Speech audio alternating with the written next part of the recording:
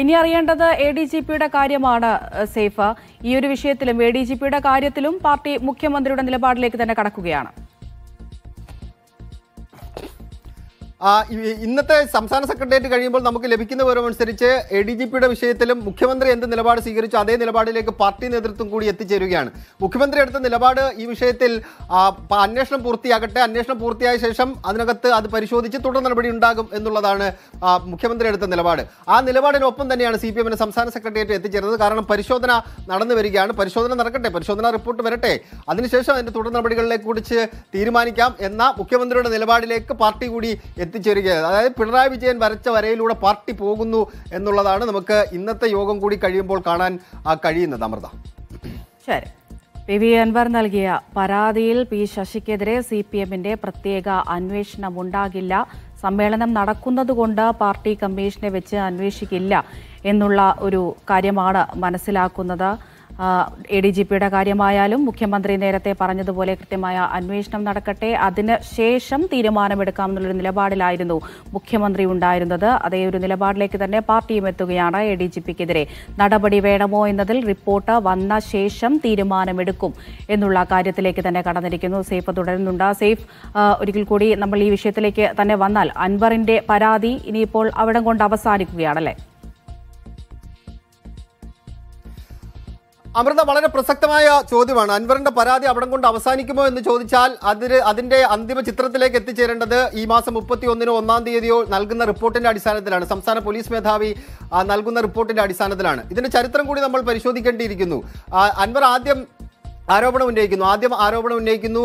അത് സുജിത് ദാസിനെതിരെ ആദ്യം ആരോപണം ഉന്നയിക്കുന്നു. പിറ്റേ ദിവസം വാർത്താ സമ്മേളനം വിളിച്ച് അജിത് കുമാറിനെതിരെ ആരോപണം ഉന്നയിക്കുന്നു. അതിൽ പി ശശിയുടെ പേര് ഉൾപ്പെടുത്തുന്നു. തുടർച്ചയായി മൂന്ന് ദിവസം വാർത്താ സമ്മേളനം നടത്തിയാണ് ഇത്തരത്തിലുള്ള ആരോപണങ്ങൾ ഉന്നയിക്ക പി അൻവർ ഉന്നയിച്ചത്. ആ പരാതി ഉന്നയിക്കുന്ന സമയങ്ങളിൽ ഒന്നും തന്നെ സി പി എമ്മിന്റെ സംസ്ഥാന നേതൃത്വം എവിടെയും വന്നിട്ട് ആരെയും തള്ളി പറഞ്ഞിട്ടില്ല. അൻവറിനെ പ്രത്യേകിച്ച് തള്ളി പറഞ്ഞിട്ടില്ല. കണ്ണൂർ വിമാനത്താവളത്തിൽ നിന്ന് പുറത്തു വരുന്ന സി പി എമ്മിന്റെ സംസ്ഥാന സെക്രട്ടറി പറഞ്ഞൊരു വാചകം ശ്രദ്ധേയമായി നമ്മൾ നോക്കിക്കാണണം. അത് ഗൗരവതരത്തിൽ ഉള്ള പരാതികളാണ്. അത് പാർട്ടിയും സർക്കാരും അത് ഗൗരവതരത്തിൽ പരിശോധിക്കും എന്നാണ് സി പി എമ്മിന്റെ സംസ്ഥാന സെക്രട്ടറി പരസ്യമായി പറഞ്ഞത്. അതിനുശേഷം ഏതാണ്ട് ഒരു മാസത്തോളം ആവുന്നു. ഏതാണ്ട് ഒരു പത്തിരുപത്തഞ്ച് ദിവസം കഴിയുന്നുണ്ട്.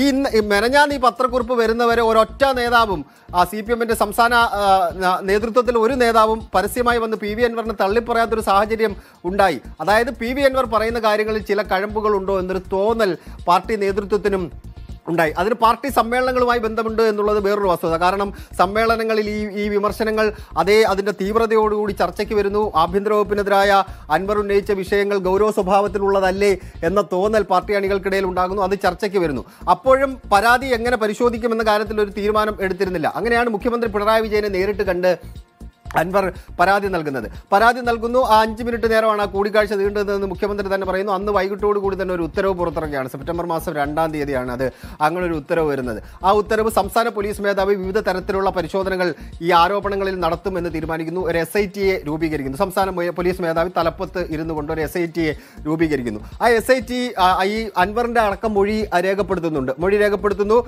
മുഖ്യമന്ത്രി പിണറായി വിജയൻ പിന്നെ നടത്തിയ കൂടിക്കാഴ്ചയ്ക്ക് ശേഷം അൻവർ ഒന്ന് ഭയപ്പെടുന്നു. ആ ദിവസം ഒന്ന് ഭയപ്പെടുന്നുണ്ട്.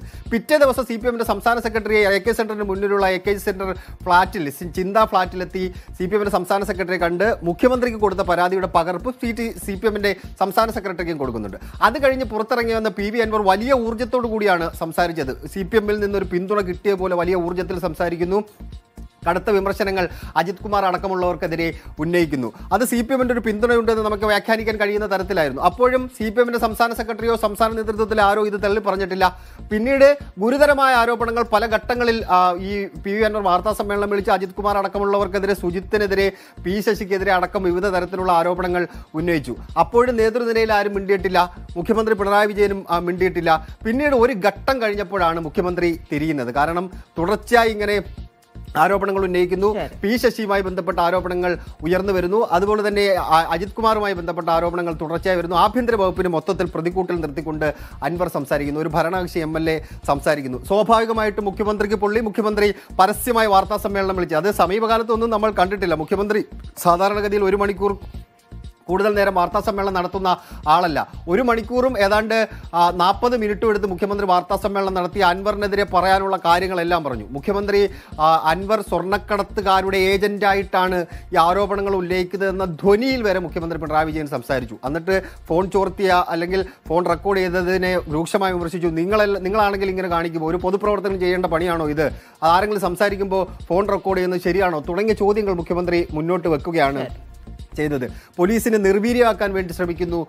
പോലീസിന്റെ മനോവീര്യം തകർക്കാൻ വേണ്ടി ശ്രമിക്കുന്നു അൻവർ എന്നൊക്കെ മുഖ്യമന്ത്രി പറഞ്ഞു. ഏതാണ്ട് ഒരു മണിക്കൂർ നാൽപ്പത് മിനിറ്റും എടുത്ത് അൻവറിനെതിരെ എന്തൊക്കെ പറയാൻ പറ്റുമോ അതെല്ലാം മുഖ്യമന്ത്രി പറഞ്ഞു. പക്ഷേ അൻവർ പിന്നോട്ട് പോകാൻ തയ്യാറായില്ല. രാവിലെ മുഖ്യമന്ത്രി വാർത്താ സമ്മേളനം വിളിച്ചിട്ട് വൈകിട്ട് അഞ്ചരയോടുകൂടി അൻവർ വാർത്താ സമ്മേളനം വിളിച്ച് മുഖ്യമന്ത്രിയെക്കുറിച്ച് അൻവർ പറയുന്ന ചില വാചകങ്ങളുണ്ടായിരുന്നു. അത് ഭയങ്കര രസകരമായിരുന്നു. മുഖ്യമന്ത്രിയെ ഞാൻ പിതൃതുല്യനായിട്ടാണ് കാണുന്നത് എന്നൊക്കെ പറഞ്ഞ് മുഖ്യമന്ത്രിക്കെതിരെ ഞാൻ ഒന്നും പറയില്ല എന്നൊക്കെ പറഞ്ഞിട്ട് ആ ഏതാണ്ട് ഒരു നാൽപ്പത് മിനിറ്റ് ആയിരുന്നു തോന്നുന്നു ആ വാർത്താ സമ്മേളനം. ഉണ്ടായിരുന്നത്. മുഖ്യമന്ത്രിക്കെതിരെ പറയാൻ പറ്റുന്നതെല്ലാം അൻവർ അവിടെ പറയുന്നുണ്ടായിരുന്നു. ഇ എം എസ് കോൺഗ്രസ്സുകാരനാണ് ഞാൻ കോൺഗ്രസ്സുകാരനാണെങ്കിൽ ഇ എം എസും കോൺഗ്രസ്സുകാരനാണ് എന്നുള്ളതായിരുന്നു മുഖ്യമന്ത്രിക്കുള്ള മറുപടി. അവസാന പത്രസമ്മേളനം കഴിഞ്ഞിട്ട് എഴുന്നേറ്റ് പോകുമ്പോൾ ഒരു ലാൽസലാം ആ ലാൽസലാം മുഖ്യമന്ത്രിക്കുള്ള മറുപടി കൂടിയാണ്. കാരണം ഞാനൊരു സഖാവാണ് അല്ലാതെ കോൺഗ്രസ്സുകാരനല്ല എന്ന് മുഖ്യമന്ത്രിയോട് പറയുകയായിരുന്നു. മുഖ്യമന്ത്രിയുടെ സ്നേഹത്തോടെ വിമർശിക്കുന്നതാണ് ആ അൻവറിന്റെ ആ വാർത്താ സമ്മേളനത്തിൽ നമുക്ക് കാണാൻ കഴിഞ്ഞത്. മുഖ്യമന്ത്രി പിന്നോട്ട് പോകാൻ തയ്യാറായില്ല. മുഖ്യമന്ത്രി കഴിഞ്ഞ ദിവസം തൃശ്ശൂരിൽ ഒരു പരിപാടിയിൽ പങ്കെടുത്തുകൊണ്ട് ഏറ്റവും ഒടുവിൽ സംസാരിച്ച് അവസാനിപ്പിക്കുന്നത് ഇങ്ങനെയാണ്. നിങ്ങൾ ചിലരെയൊക്കെ പൊക്കിക്കൊണ്ട് നടന്നല്ലോ അതിനൊക്കെ ആയുസ് കുറവാണ് എന്ന് പറഞ്ഞുകൊണ്ടാണ് ആ പ്രസംഗം. ഏതാണ്ട് ഒരു മണിക്കൂറോളം നീണ്ടുന്ന പ്രസംഗമായിരുന്നു. ആ പ്രസംഗം അവസാനിപ്പിക്കുന്നത് അങ്ങനെയാണ്. അതായത് എനിക്കുള്ള കലിപ്പ് തീർന്നിട്ടില്ല എന്ന് അൻവറിനോടോ അൻവറിനെ പിന്തുണയ്ക്കുന്നവരോടോ മുഖ്യമന്ത്രി പറഞ്ഞു വെക്കുകയാണ് ചെയ്തത്. ഇതിൽ ഈ അൻവറിന്റെ വരവും അത് സി പി എമ്മിന്റെ സമ്മേളനങ്ങൾ തമ്മിൽ നല്ല ബന്ധമുണ്ട്. മുഖ്യമന്ത്രി ഈ അൻവറിനെ വിമർശിക്കുമ്പോൾ മുഖ്യമന്ത്രി ലക്ഷ്യം വെക്കുന്ന അൻവറിനെ മാത്രമല്ല പാർട്ടിക്കുള്ളിൽ അൻവറിനെ മുന്നിൽ നിർത്തി എനിക്കെതിരെ യുദ്ധം ചെയ്യാൻ വേണ്ടി ഇറങ്ങിയിട്ടുള്ള ആൾക്കാരുണ്ടെങ്കിൽ നിങ്ങൾ ശ്രദ്ധിച്ചോളൂ മുന്നിൽ നിന്ന് ഞാൻ അതിനെ നേരിടും എന്നുള്ള ധ്വനിയായിരുന്നു മുഖ്യമന്ത്രിയുടെ വാർത്താ സമ്മേളനത്തിലുണ്ടായത് രണ്ട് രണ്ട് വാചകങ്ങൾ എടുത്താൽ മതി മുഖ്യമന്ത്രിയുടെ. ഇങ്ങനെ നമ്മളൊരു ചോദ്യം ചോദിക്കുന്നുണ്ട് ഇങ്ങനെ തുടർച്ച അൻവർ ഇങ്ങനെ ആരോപണങ്ങൾ ഉന്നയിക്കുകയാണല്ലോ എന്ന് ചോദിക്കുമ്പോൾ മുഖ്യമന്ത്രി പറയുന്നത് അതുകൊണ്ടാണ് ഞാൻ വന്നിരുന്ന് ഇവിടെ പറയുന്നത് ഇങ്ങനെ പോയാൽ ഞാനും പറയാൻ തയ്യാറാണ് ഇങ്ങനെ ഞാൻ ഞാനും പറഞ്ഞുകൊണ്ടിരിക്കുക എന്ന് ഇടയ്ക്ക് വാർത്താ സമ്മേളനത്തിന് ഇടയ്ക്ക് മുഖ്യമന്ത്രി പറഞ്ഞു. ഏറ്റവും ഒടുവിൽ മുഖ്യമന്ത്രി എഴുന്നേറ്റ് പോകുന്ന സമയത്ത് ഞങ്ങൾ മാധ്യമപ്രവർത്തകർ മുഖ്യമന്ത്രിയോട് പറയുന്നുണ്ടായിരുന്നു മുഖ്യമന്ത്രി മാസത്തിൽ ഒരിക്കലും മാധ്യമങ്ങളെ ഒന്ന് കാണണം എന്ന് നമ്മൾ ഒരു അഭ്യർത്ഥനാ സ്വഭാവത്തിൽ പറഞ്ഞു. അന്നേരം മുഖ്യമന്ത്രി പറഞ്ഞത് ഇങ്ങനെയാണെന്നുണ്ടെങ്കിൽ ഇടയ്ക്കിടെ കാണേണ്ടി വരും എന്ന് പറഞ്ഞുകൊണ്ടാണ് മുഖ്യമന്ത്രി ആ വാർത്താ സമ്മേളനം അവസാനിപ്പിച്ച് ആരോപണങ്ങളും. പ്രത്യാരോപണങ്ങളും ഒക്കെ നമ്മൾ കണ്ടത് തന്നെയാണ്. ഏതായാലും ഈ ഒരു ശശിയുടെ വിഷയത്തിൽ ഏതായാലും ഒരു തീരുമാനമായിരിക്കുകയാണ്. അന്വേഷണം ഇല്ല എന്നുള്ള തീരുമാനത്തിലേക്ക് പാർട്ടിയും കടന്നിരിക്കുന്നു.